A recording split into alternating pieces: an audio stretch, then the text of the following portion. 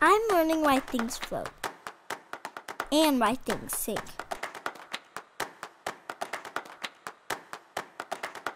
I made a splash. I even made my own submarine. I'm Molly, and this is how I learned.